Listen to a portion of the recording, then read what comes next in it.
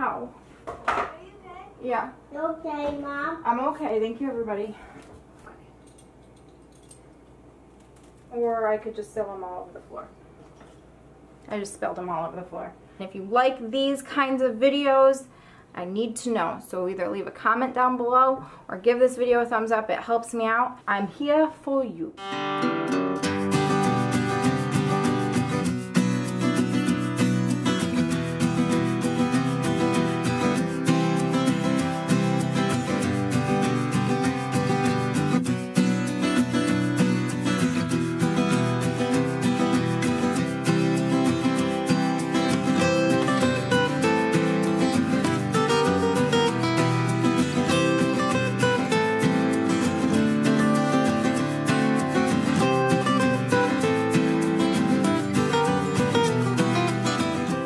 Welcome to our channel. My name is Crystal. I am in my kitchen today because I am going to be canning up some peppers.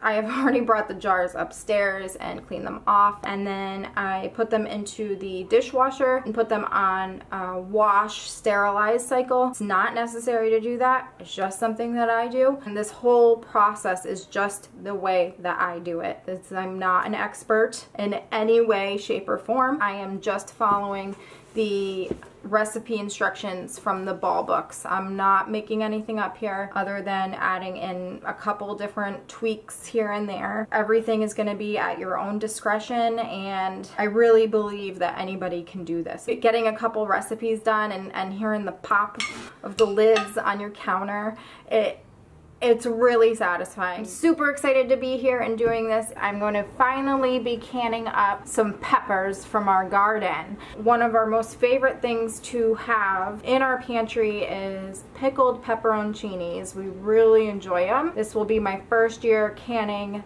those. And then I'm also going to be pickling up some jalapeno slices. My husband was hoping I was going to be canning cowboy candy today, but I am not. I'm going to save that for the second round harvest of the jalapenos. Today is just going to be the same exact brine for both the pepperoncinis and the jalapenos. I'm just going to be changing up a little bit what goes into each jar. The two books that I am using for the recipes today, the first one is the Ball Blue Book Guide to Preserving, and then the other book that I am using is the Ball Complete Guide to Home Preservation. Many times I have found their recipes similar recipes on their website. So if you don't have the books, you might actually be able to find the recipes that you're looking for on their website. I know cowboy candy's on there and I found a recipe for mixed berry jam. I'm gonna try with the strawberries and blueberries that we got from our garden. Another resource that I have found extremely helpful is the National Center for Home Food Preservation. It's got all the guides and all the recommendations, things like do you need to sterilize your canning jars, how long do you keep canned foods on the shelves and like there's a lot of information on there. It's just a little bit more peace of mind if you have a quick question and you're not sure then that's that's the website I go to to look up an easy answer straightforward that I know has been researched and everything else. I'm canning the whole pepperoncini peppers so I'm going to be packing them into the jars as whole peppers and then the jalapenos I will be slicing. I will also be adding pickle crisps to both of them. I made pickled jalapenos last year and I did not add pickle crisp and we still ate them. They just weren't the greatest texture.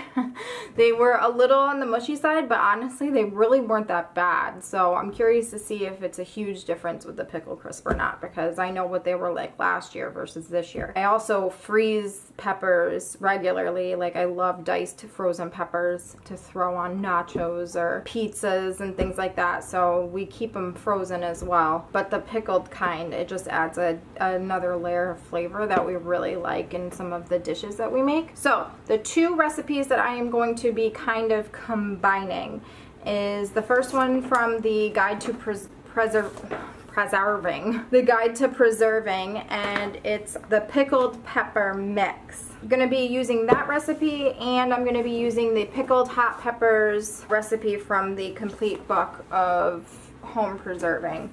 The difference between the recipes is one has sugar and horseradish in it and I don't really want that. What I'm taking from the pickled pepper mix is the method for canning whole peppers and then the recipe that I'm actually making the brine from is from the pickled hot pepper recipe from the from this book here. All right, let's get started. I'm super excited.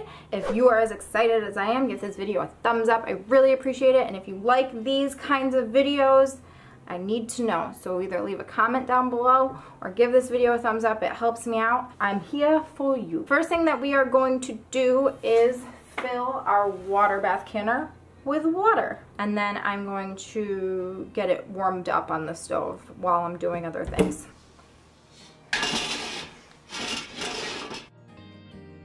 Okay, so the ingredients that I have for both of these recipes are vinegar, water, garlic, and pickle crisp are the four main things. The one thing that I will be adding to the pepperoncini peppers, some red pepper flakes to each of the jars. I'd also like to note that the garlic that we're using, we grew and I'm super proud of that. Here are the jalapenos that I got from our garden. These are the pepperoncinis from our garden and one sad lonely Hungarian wax pepper that I'm just gonna throw in there for fun. I started the water for the water bath canner just to get it warmed up. The dishwasher actually just beeped and stopped, all done and completely sterilized. Good timing here.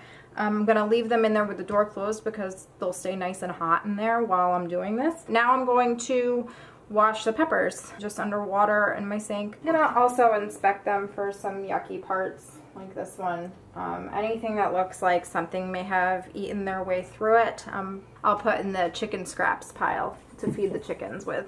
I don't know if it matters to anybody, but we do have well water here. I don't know if that matters to anybody. if they're wondering the water that we're using, it's all from, most of it's from our tap or the filtered tap on our refrigerator, but it comes from our own private well. First thing I'm going to do is open up the garlic here. I'm really excited about it because I haven't opened one of these yet. This is a music variety of garlic. And I only need three cloves, so I'll save another one for later. This one has four. Wow, these look these look really nice and it smells so good. And I want three cloves of garlic. Give it a little smashy smashy. Um, I'm fully aware that my hands are going to smell very strongly of garlic and I'm okay with that. Put those off to the side for later. The only things I need to do to the pepperoncinis is I'm going to be putting slits into them. And then the jalapenos, I'm just gonna be cutting into rings. Find some rubber gloves because I'm going to slice up the jalapenos. And I don't want the oils on my hands because that's hard to wash off. These are just vinyl gloves. Because the oils, once that gets on your skin, it is, it doesn't come off. Then you go and touch your eyeball or something and it just burns like crazy, so. All right, so excited to be here. We grew these peppers.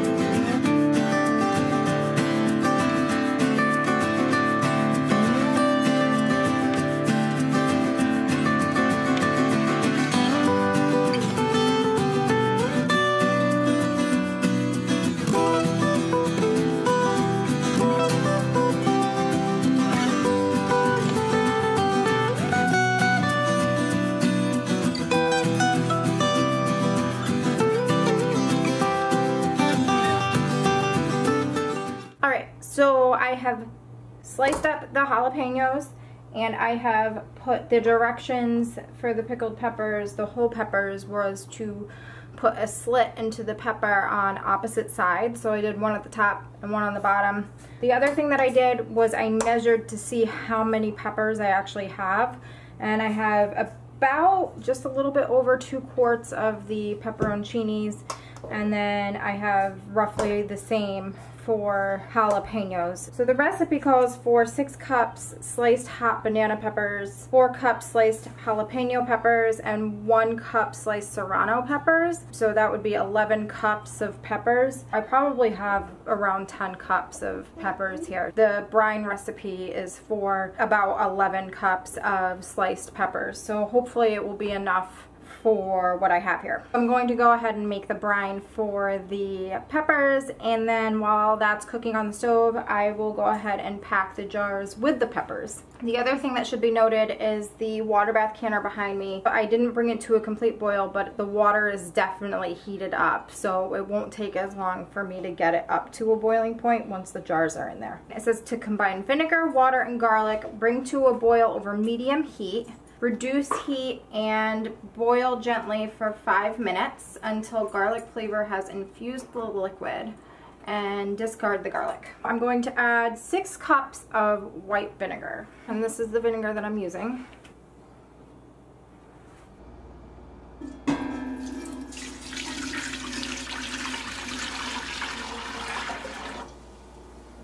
We want to add two cups of water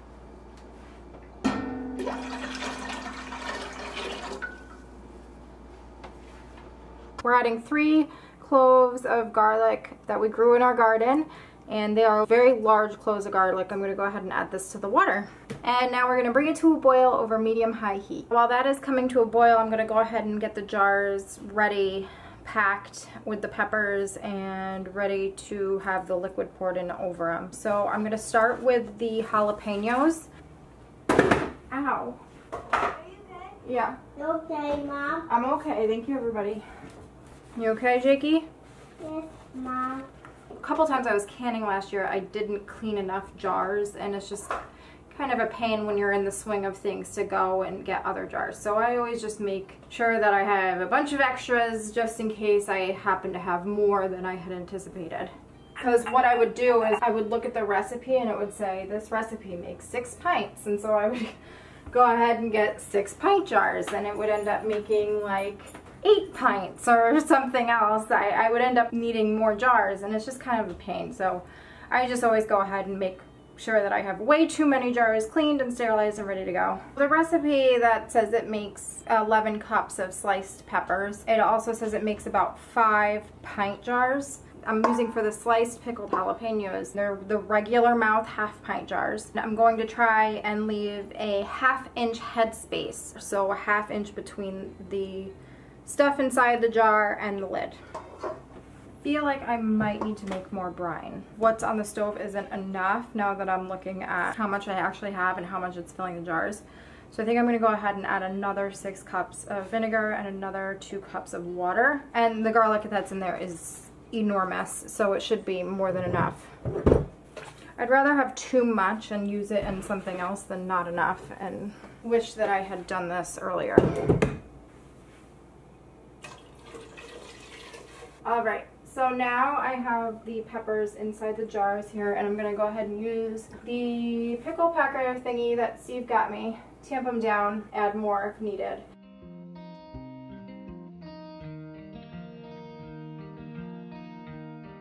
And now I'm going to pack them down again. I feel like some of these have too much, so I'm going to go ahead and remove some. So the recipe says to use an eighth of a teaspoon of pickle crisp per pint jar. I'm using half pint jars, so I'm going to add half of an eighth of a teaspoon. I don't think I have something to measure that. I'm just gonna kind of eyeball it. An eighth of a teaspoon is half of a quarter teaspoon, which is what I have. So I'm going to just add little tiny bit, maybe like a third of the way up the quarter teaspoon of pickle crisp to each of the jars. That's how much I'll be adding to each of the jars. It's not really focusing that great. Or I could just spill them all over the floor. I just spilled them all over the floor. let's try that again. Fortunately, I didn't spill this. I only spilled what was in here. So, because that would have been really bad. The brine is still cooking, so I think I will go ahead and move on to the pepperoncini peppers. I am using the uh, ball wide mouth pint jars. It is one of my favorite size jars. I use it for most everything I make is it's just the perfect size when I'm cooking or I don't know. It's just like, it's just my favorite go-to size. Plus the wide mouth is way easier to fill and it's way easier to pour. So I just, I prefer that one. Um, all right, this should be interesting because I've never done something like this before. I guess you just pack the peppers in. I think I'm just gonna add a little bit of red pepper flake to each one of the jars and the pickle crisp. So these are pint jars, so I'm gonna go ahead and add the actual eighth of a teaspoon, which again, I don't have an eighth of a teaspoon measuring spoon, so I'm just gonna do half of the quarter teaspoon. And then I'm going to add about the same, I'm gonna say a pinch of red pepper flake to each jar. And then we shall try and pack these peppers when I was harvesting the pepperoncini peppers, I tried to harvest different sizes because I knew that some of them are really large and they were going to take up a lot of space in the jar, but then there was going to be, I didn't want to leave a lot of room in the jars. So we want to leave a half inch headspace. Now I'm going to go ahead and ladle in the brine and I'm not going to include the garlic pieces Alrighty, so it says pack peppers into hot jars to within a generous half inch of top of jar. Ladle hot pickling liquid into jar to cover peppers, leaving half inch headspace and add 1 8 Okay, we did all that. I'm gonna go ahead and ladle in the liquid. I'm just gonna ladle in every single jar and then I will go back. Um, some of these need more for sure now that they've settled. All right, now that I have the liquid in each of the jars, I'm gonna go ahead and use my bubble tool to make sure I got all the bubbles out. Try and get as much of the bubbles out as I can. And then I will go ahead and measure the headspace, make sure it's good, remove any liquid that doesn't need to be there, or add more liquid if it needs it. The thing with the whole peppers I'm already noticing is there's a lot of bubbles. So the half inch of headspace is right here at this line and make sure that there's a half inch head space between the top of the jar and the contents of it. So a lot of these need more liquid.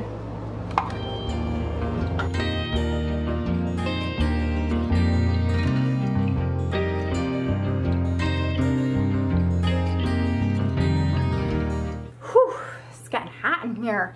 All right, so kind of tedious getting the whole peppers in there. I've never done it before, so there was a lot of bubbles and then I couldn't figure out, I had to keep adding liquid. Doubling the brine recipe was a good idea and I'm glad I did it. So the next thing is now that the jars are packed with the peppers, I'm going to take a clean t-shirt rag and some more vinegar.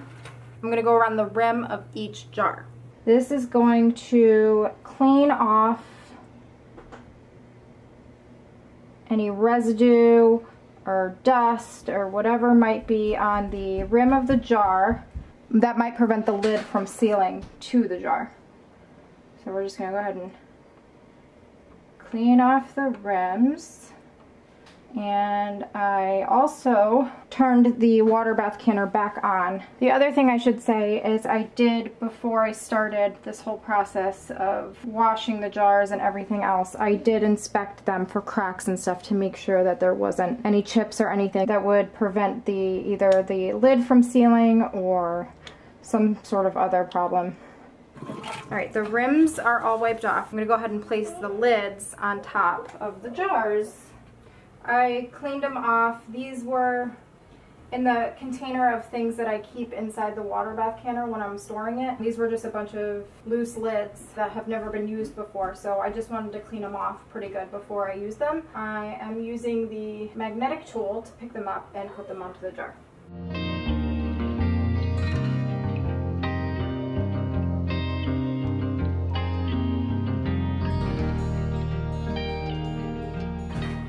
I was recently in Tractor Supply and they had a ton of lids. They had lids and bands. My husband said that he saw the lids and bands and I went back over and they had a whole bunch of lids in there too, just the lids. So that was nice to see.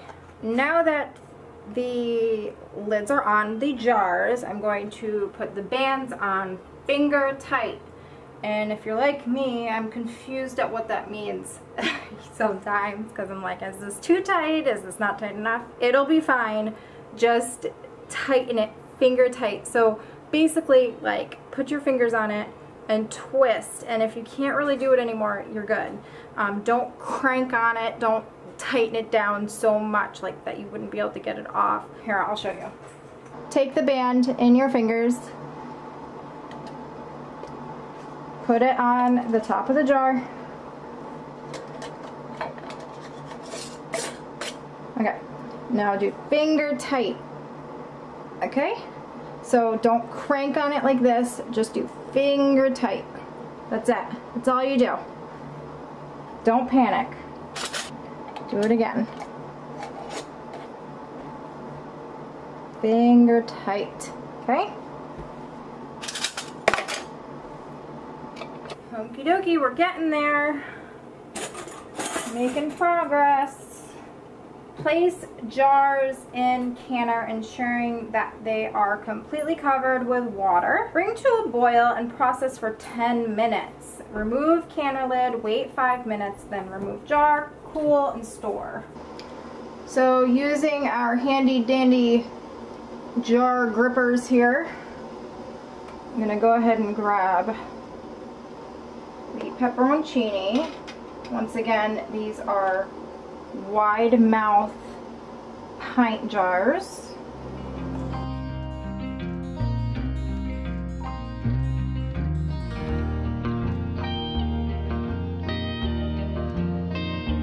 Now we're going to submerge them down into the water.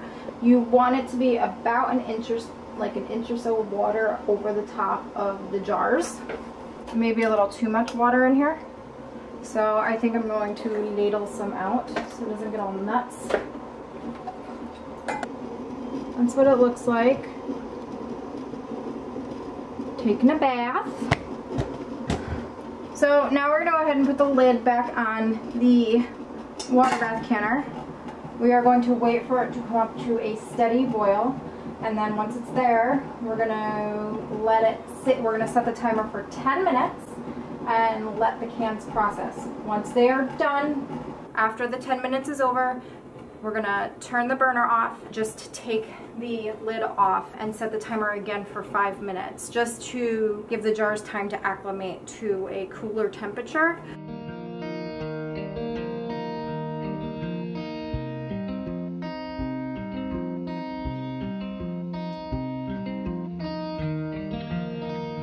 So the pickled jalapenos just finished. They've been sitting, resting for five minutes, and now I'm gonna pull them out of the canner on and put them onto a towel on my countertop.